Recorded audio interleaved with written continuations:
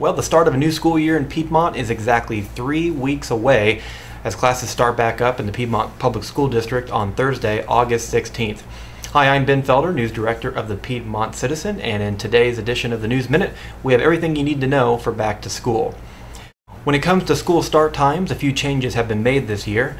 High school and middle school will begin at 7.50 a.m., Piedmont Intermediate School will begin at 8 a.m., and all elementary and primary schools will start at 8.30 a.m.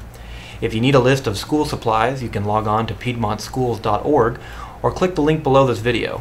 Speaking of the district's website, some changes have been made in both look and functionality, including a new calendar feature that I think is a big improvement. Enrollment information and a district directory can also be found at piedmontschools.org. All 5th and 6th grade students in the district will be going to the new intermediate school on Washington Avenue. Furniture is being moved in as we speak, and a grand opening is scheduled for August 9th at 6 p.m., giving the public its first look at one of the nicest school buildings in the state. The district, which has been exploding with growth for the past several years, is expected to break enrollment records again this year. District officials say there are 3,060 students enrolled right now, with another 100 possible by next month. The new inter intermediate school will house about 440 students this year, while the primary building is pushing 230, and at least 750 students are expected to enroll at the high school.